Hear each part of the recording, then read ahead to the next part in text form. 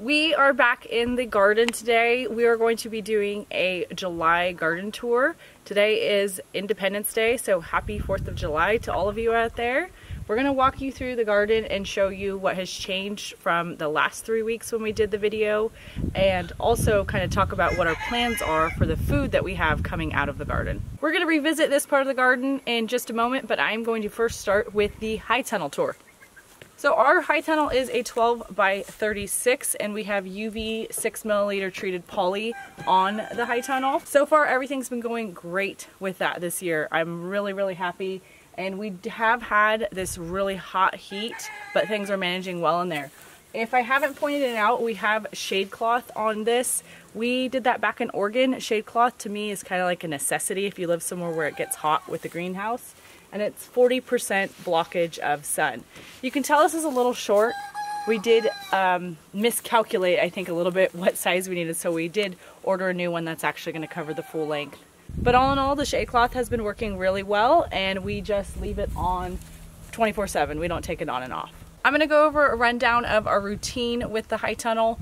So at night we do close everything up, but first thing in the morning, since the sun comes up so early here, I do open up this door and it's a pretty large door. It's a four by six and a half, I believe. We open it up all the way. Eric put this cool little bungee so we can bungee it to the fence and we don't have to worry about it slamming closed or anything like that.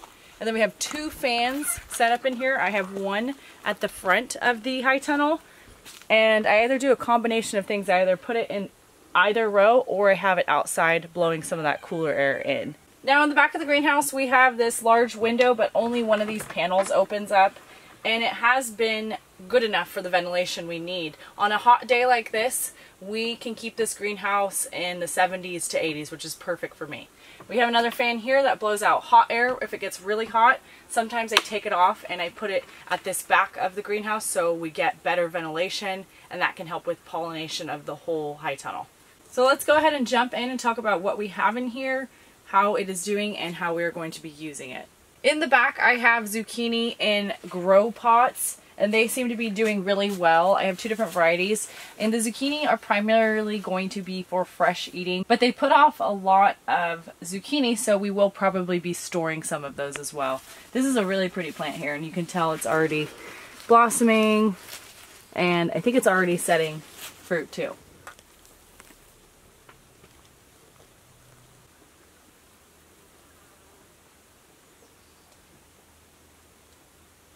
We have a few of these Cuban oregano plants that were given to us when we went to a nursery. Really cool. They started out about this size and they're looking great now. It's a like a fuzzy, stronger version of oregano. I planted some hibiscus because I had some seed left over.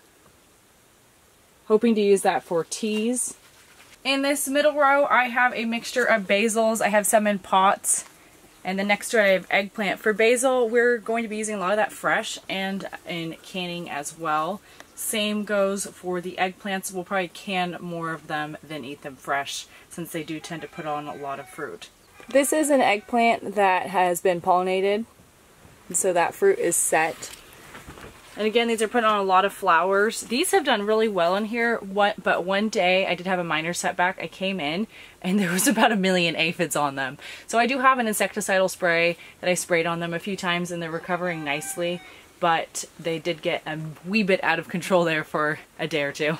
So next we want to show these tomatillos. We generally only grow two, but we had a pack of six and I think we have five here and they are killing it. I mean, they're bigger than I ever thought they'd be. I didn't know that tomatillos got this big. Maybe they get even bigger somewhere in the south, but they're close to five feet now. I think they are five feet. They have lots of foliage, lots of flowers, so we're going to be canning pretty much all of that as salsa. This is what the fruit looks like, and there's a little tomatillo in there, and this is the, I don't know if it's called husk, but it's the outer portion of it. We've got more basil at the end of this row and then we go into green beans and our shelling beans. Our green beans can go about 8 feet so I knew they were going to start to do this and what I may do is just try to wrap them around this and see if we can get them to trellis around there. Green beans are the easiest thing to trellis. They pretty much trellis without any sort of guidance. The purpose with the green beans is to eat them all fresh. So we may can some, but again, we really just want to eat them fresh. This is where our shelling beans are. And this is the first time growing these for us. We obviously plan to just keep them dry, maybe even canned in soups or something like that. They're all doing really well. The Windsor Fava doesn't really trellis. I don't think I knew that. So it's not trellising, it's just kind of growing and I'm just putting it in here so it stays upright. Everything in the greenhouse has pretty much done 100%. I'm very happy with it. The corn is doing great, but I did have something occur that I wanted to share with you guys. It was putting on a lot of growth really fast as corn does, but one day I came out here and I noticed that some of the stalks were kind of floppy. So I looked it up and it's called twisted whorl corn syndrome. And basically what's happening is there was either a shifted temperature or the corn is just trying to grow too fast and these little whorls, the leaves on the inside, don't unfold properly. So it does kind of delay or stunt the growth a little bit, but supposedly it outgrows itself, which it really has done, and it will still give you a good corn yield. So this is an example of that syndrome I was talking about. And before, probably about a week ago, this whole stalk was more yellow and flopped over. Now it's starting to grow out of it, but you can still see these wrinkly leaves. This is a yellow corn that is starting to produce its tassels. I'm hoping they still get a few feet taller. I think they will. And then I have a white corn over here. And this white corn was not affected at all by that whorl. So these ones are a little bit taller. We are growing this corn for fresh eating, so we're going to be eating a lot of corn. We have canned it in the past, but we prefer it fresh. This is the area where we have our melons and squashes. I have these little watermelons right here and they're doing pretty good. They're a little bit slower, but so far everything's really healthy with them and they're starting to vine up. Next we go into our winter squashes and the watermelon are going to be for fresh eating, but the squashes are going to be for storage. So I think we're all familiar with squash kind of being that plant that gets really big and just rambles with these vines. And is very much so still doing that. So what I've done is I have been managing the vines a little better and helping them trellis if they don't trellis on their own. A lot of them do. And I know they're most likely going to surpass this. These ones, the spaghetti squash has already surpassed the height that we have allowed for it. One other way I'm helping these plants out or helping us out is going ahead and trimming some of the foliage. I, I trim the lower leaves. I trim any crisscross, you know, vines or leaves in there just because of where we're at. I can't let them get to their full mature size in here. These are spaghetti squash tendrils that you can tell are doing their thing. I don't even have to tell them what to do. So that's what the plants look like underneath their leaves. Again, I have trimmed a lot of that lower foliage off. I need to keep good airflow going through there, not only for pollination, but also to minimize the chance of any sort of like fungal or mildew because that can happen in this type of environment where we have heat and moisture. Also, Eric and I would not be able to walk through here if I didn't manage these, so we're keeping the rows clear. Next we have our peppers and I am super thrilled with them. If you're in the south you may not be as thrilled with them but we never got our peppers this big and this bushy in Oregon which is pretty cool because we're in Alaska.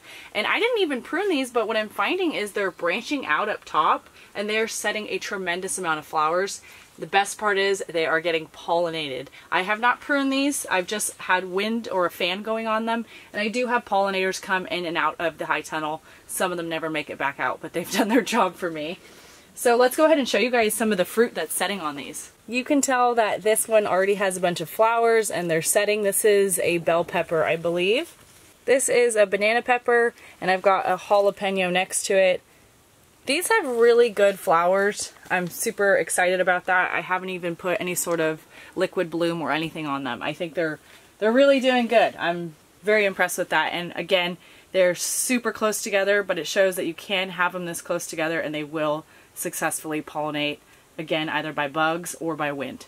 With these peppers, we are going to be doing pretty much canning and using them in recipes. We tend to stray away from spices and you know, lots of like store-bought additives, things that you can add to your food to make it taste better. So we like the heat and we're going to be adding peppers to a lot of things. Over here we have more peppers and they are also setting their fruit. Then we jump to dill and cucumbers. And the cucumbers, they vine pretty well on their own, but sometimes I do go along and just twist them and make sure they're going up the way I want them to. They're a little bit close to the dill. We have to come through today and go ahead and snip all this dill off. We're going to be using that in pickling primarily and putting it away for some other canning recipes. The cucumbers, I did go ahead and trim off lower foliage to help again with mildew and also help with pollination. I don't really want fruit or leaves sitting directly on that ground with the wet soil. We have a few herbs throughout. We have chamomile, pineapple sage, obviously the dill. I have lemon balm and lemon verbena. And those are mainly being grown because they're not perennials. Not all of them are perennials, but they won't perennialize here. So we are going growing those mainly for just canning purposes and or putting away for teas for this winter. And lastly, in the high tunnel, I'm going to show you guys the tomatoes. They are doing great. And these I have had to manipulate to an extreme. I've probably removed a third of the foliage altogether, all the lower branches, and anything that's crisscross in here. I really want these to pollinate and so far we're at like 100% pollination. Each little fruiting vine, all of them are successfully setting. So that's really exciting. Tomatoes don't trellis, but I do have a string that I just move up on them and tighten. It is time consuming, but that's just the way I have to do it this year. Maybe I'll figure out a better system in the future. These are Stupice. They look really good. You can see there's lots of flower clusters. Again, I haven't put liquid bloom, but I may put liquid bloom on these to help encourage more flowering. They're still growing, but they're definitely at the point where I want them to start setting that fruit so we can eat tomatoes. We have five different varieties of tomatoes growing in here and most of them are the indeterminate kind. I did get a little greedy and I have two central stalks on most of the plants. This is a sucker, so I'm gonna go ahead and just break that off. The only thing I would change is put these cherry tomatoes, which are determinate, so they get very big and bushy. I would probably put them in a separate area. I'm not even a huge fan of cherry tomatoes. They tend to just take up a lot of space and they require a lot of picking. So Next year, I'd probably just put these in a separate spot. These are Roma tomatoes. They look really good. I'll probably add some CalMag just to make sure they don't get blossom end rot. Sometimes we find that with those sauce tomatoes. And we are pretty much using all the tomatoes mostly for preserving, either for like sun-dried tomatoes, canning, tomato sauce, salsa, but we will be eating some of them fresh too. That is a Kellogg's tomato for fresh eating. That is probably our favorite tomato. So just to recap, these tomatoes are definitely pruned back pretty significantly because of the situation. I don't want them getting out of control in here and I want them to be healthy and set fruit and not get sick. They're pretty susceptible to blight. In the past, we were able to keep more leaders, but this time around, I'm pretty happy that we're even able to have two leaders per plant. I think we're going to have a really good yield this year for our canning. So let's go ahead and head out to the rest of the garden. This is the mint over here. We are mainly growing these for teas, but they should overwinter, so I'm not as worried about it. And I don't know if you remember the last video, but they have successfully come out of their purple phase. And I think a lot of that was mainly due to cooler temperatures. This is the asparagus bed. I have lots of random herbs that are bolting, but that's okay. I like the flowers. And the asparagus are coming up really thin this year. This bed gets a little more shade than some of the others, but it does really well with it. This is chamomile, and we use these for tea. We just go along and pick those every few days and dry them out. This bed is a very cool one this year. It has lots of flowers in it. And again, I did that just to kind of fill in that space I do think those raspberries are going to start to grow quite a bit bigger in the next few years and same with the honeyberries at the end.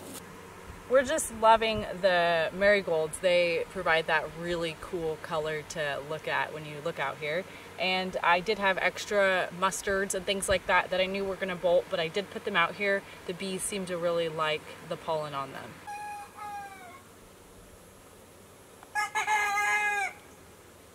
At the end of the garden, we have sunflowers, borage, and catnip.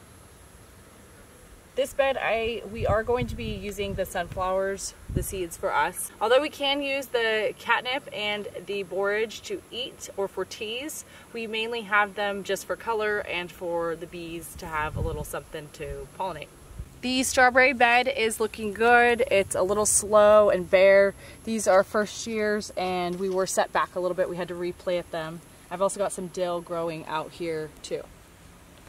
We have beets over here that I need to thin, turnips and dill, and I do need to pull out, I, I have two options. I can pull out the turnips that are bolting. Some of them are bolting, some of them aren't, but again, the bees really seem to like this foliage. You can eat that as well, but I like to leave it for the bees. At the end of this row, I have some parsnips and we are going to be using those for either canning or just storage. They're good in the middle of winter. We have carrots here.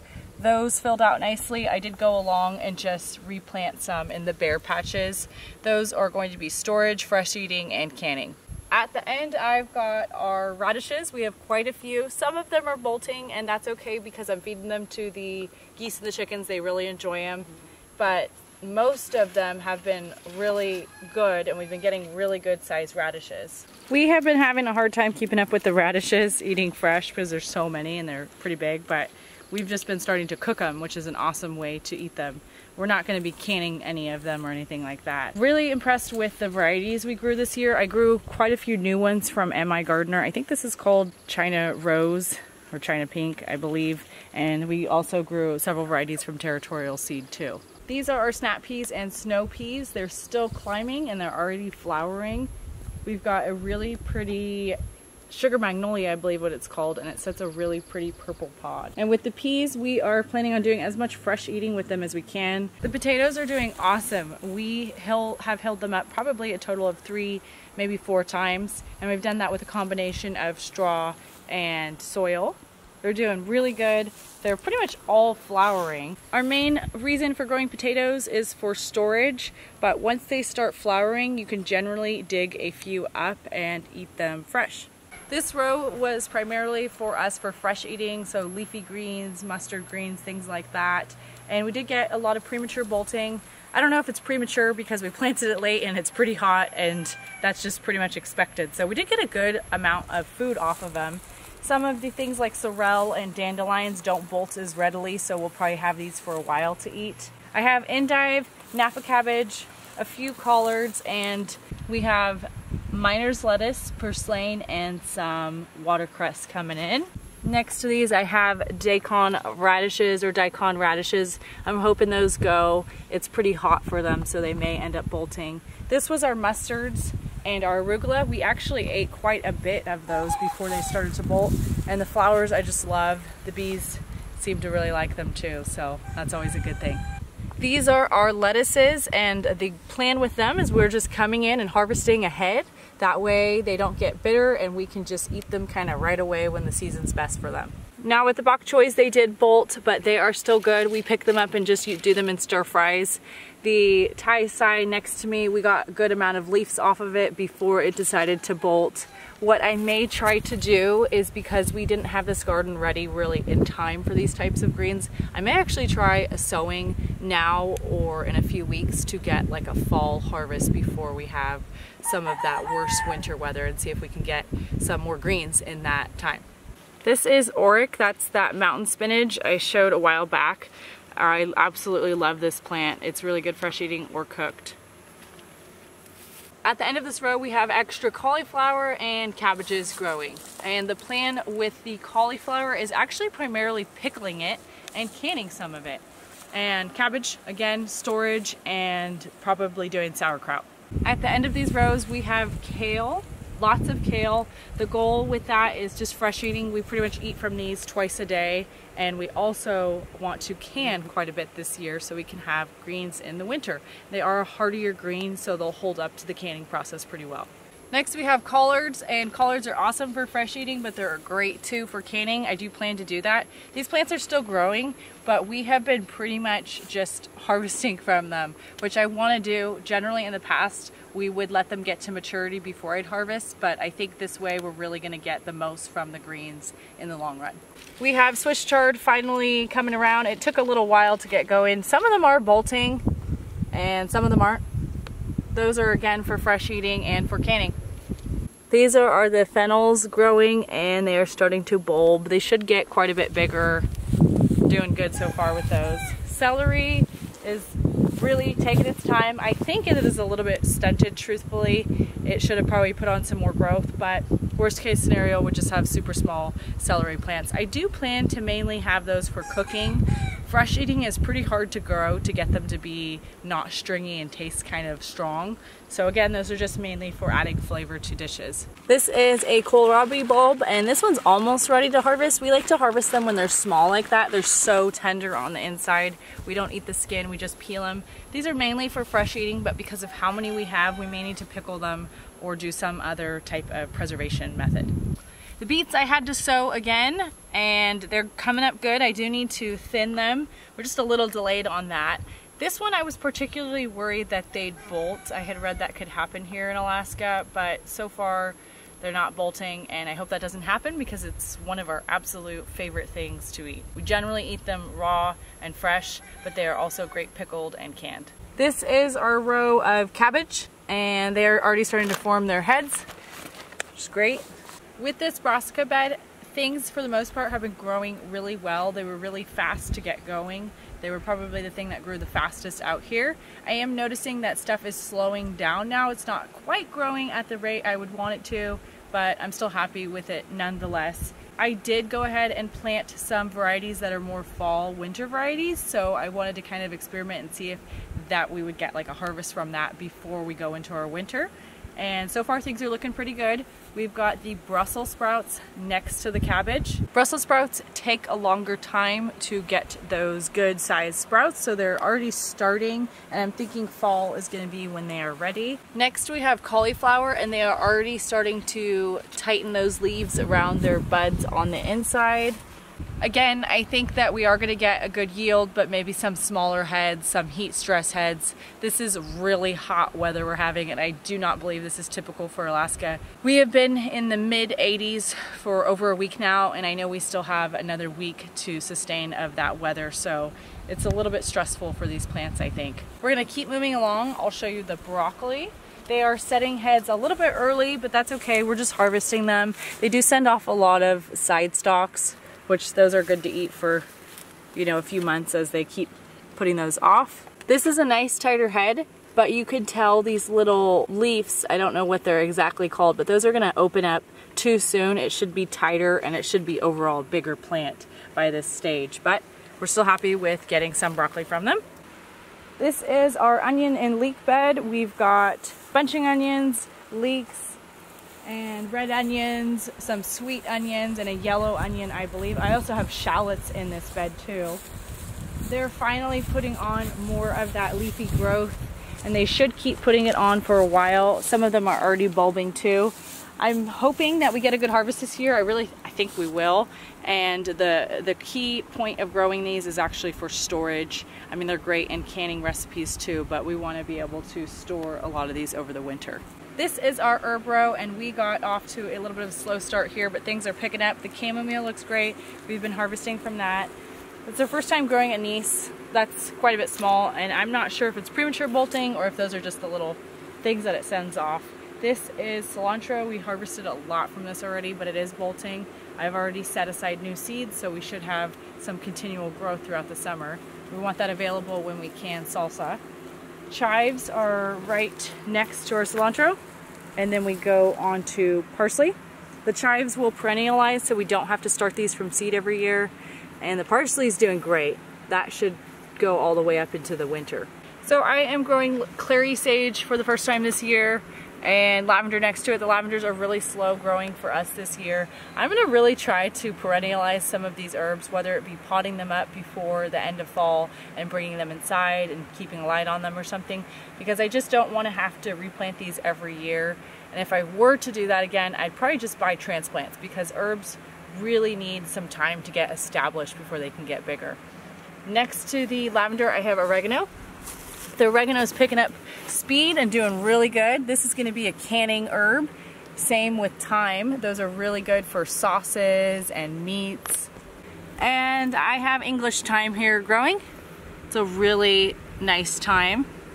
The tarragons are growing good and branching out. It's been a nice one to harvest and put with fish. Depending on how much we get from each plant and what I can harvest is how I'll use it.